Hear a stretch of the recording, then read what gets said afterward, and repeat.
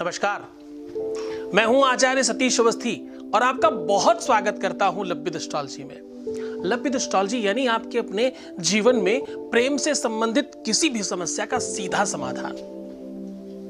इसको बहुत सरलता से, बड़ी सहजता से आप ये भी कह सकते हो कि विवाह के पहले और विवाह के पश्चात की सारी की सारी समस्याओं का सीधा समाधान जहाँ होता है, उस मंच का नाम है लब्बिद एस्ट्रोलॉजी आपके अपने जीवन को और मूल्यवान बनाने के लिए, आपको और बेहतर बनाने के लिए मैं फिर हाजिर हूँ।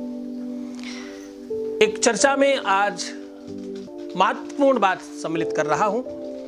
महिलाएँ जिन सिंदूर का इस्तेमाल करती हैं, उसके उपयोग को कैसे लाभकारी बनाया जा सकता है। आज मैं बात कर रहा हूँ, मैं चर्चा कर रहा हूँ, जिसो आप सिंदूर लगाते हो, सिंदूर का वास्तविक क्या उपयोग है और इसके क्या लाभ मिल सकते हैं? सिंदूर का वास्तविक क्या मतलब है? सिंदूर किस रूप में आपके अपने जीवन में कहाँ काम करता है, उस पर सीधी बात करूँगा मैं। सिंदूर से आप किसी को अपने वश में कर सकते हो क्या? सिंदूर से आप किसी को अपनी तरफ़ खींच सकते हो क्या? क्या सिंदूर की वजह से आपकी अपने जीवन में सौभाग्य की, भाग्य की और प्रारब्ध की, आपकी किस्मत की, आपकी लक में वृद्धि हो सकती है? सिंदूर क्या प्रारब्ध का कारण है? सिंदूर क्या वशीकरण का कारण बन सकता है? सिंदूर बहुत महत्वपूर्ण है जीवन में। एक चुटकी सिंदूर बहुत कुछ कहता है। इसका जो रंग है ना, लाल। रक्त वर्ण कहते हैं इसे। सिंदूर, पहले तो यह समझ लीजिए कि सिंदूर कई एक प्रकार का मिलता है। आज चर्चा सिंदूर पर है। मैं फिर से आपको याद दिलाता चलूँ कि बहुत ध्यान से समझना कि आज पूरी की पूरी चर्चा पे सिंदूर को हम सम्मिलित कर रहे हैं। आपके सौभाग्य का सबसे पहला गहना। सौभाग्यवती स्त्रियों के लिए सबसे सबसे महत्वपूर्ण और सबसे वास्तविक सूचक जो है उनकी अपनी मैरिटल होने के लिए, उन्हें अपने मैरिज होने के लिए, ये पता करने के लिए ये मैरिड है कि नहीं, उसका सबसे पहला सूचक सिंदूर है।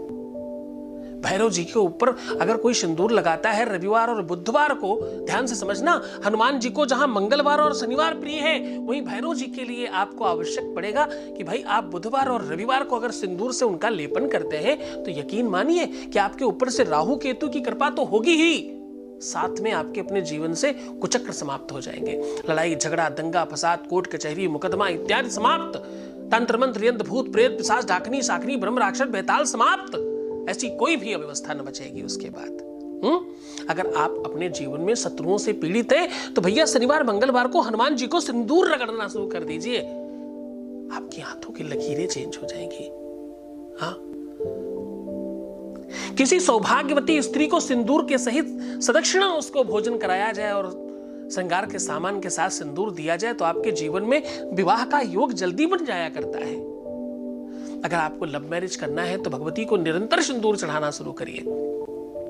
नारियल को पूरे सिंदूर से रंग करके हर शुक्रवार को भगवती के चरणों में, यानी देवी के चरणों में रखने से आपके अपनी प्रेम विवाह के योग बहुत ज़्यादा स्पीड में बढ़ते हैं। शहद और सिंदूर उतारकर अपने ऊपर से किसी पीपल के वृक्ष के नीचे दबा देने से मात्र से आपके ऊपर किया कराया तंत्र मंत्र समाप्त हो जाता है। अगर आपके अपने प्रेमी प्रेमिका के ऊपर किसी ने कुछ किया है तो उसी दिन समाप्त हो जाएगा। एक चुटकी सिंदूर बहुत उपयोगी है। महा महा उपाय है ये सिंदूर का, जो आपके अपने जीवन को पूरी तरह से परिवर्तित कर देता है। अगर आपको लगता है कि आपके आसपास किसी भी व्यक्ति के ऊपर सिंदूर से प्रयोग करना है इससे पहले एक और महत्वपूर्ण बात समझिएगा।